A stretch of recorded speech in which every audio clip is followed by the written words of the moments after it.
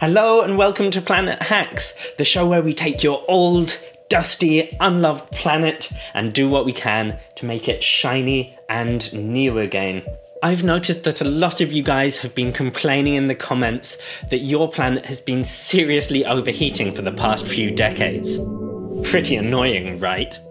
So we're going to look at what's causing that extra heat, and then I'm going to show you some of the coolest climate hacks that you can do on your planet at home. Let's start with an absolutely classic hack for an absolutely classic problem. You've all heard the hype about this dangerous hobby.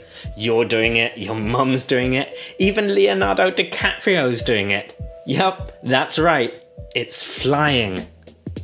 Take this planet I've got here. You can see it's covered in these little planes. They may look teeny tiny, but they can cause big problems if you don't get them fixed. They emit loads of carbon dioxide and other nasties, plus they keep multiplying over time. So what's the hack for this plane problem? You might be tempted to upgrade all these nasty planes with friendly little green ones like this. I mean, yeah, that'd be awesome. Problem is, these don't exist. No, sorry, green planes are not coming to a planet near you anytime soon. That means if you want to curb these little guys' impact on your planet, you're going to want to curb these little guys. So how can you declutter your planet and clear away some of these nuisance planes? Well, if you've been reading the forums, you'll know that lots of people are talking about climate policies. One popular policy is aimed specifically at frequent flyers. It's imaginatively called the Frequent Flyer Levy. You see, just 15% of UK flyers are nabbing 70% of UK flights. This awesome hack would rein in that flight greedy behaviour without penalising people who only fly once a year. Nice! Obviously, on Planet Hacks, we want to demo this stuff for you, but unfortunately, the climate policy I ordered online hasn't arrived yet. So, in the meantime, I'm just going to use these pliers to get rid of some of the planes.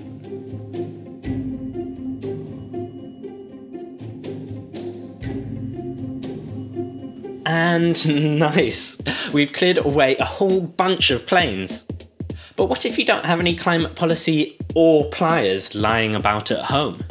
Well, I've got good news for you. You can definitely still handle this hack. Just cut down on personal flying. Even just cutting down on one flight a year has an awesome ability to lower your carbon footprint. Especially for those of you sharing a planet, limiting plane emissions could go a long way to stopping this guy from overheating. That's because flying could burn through a quarter of the world's carbon budget if you don't get it sorted soon. But what about those other three quarters? What other awesome hacks are out there to get your misused planet sparkly and new again? Well, stay tuned for the next Planet Hacks where we'll be looking at another tasty hack.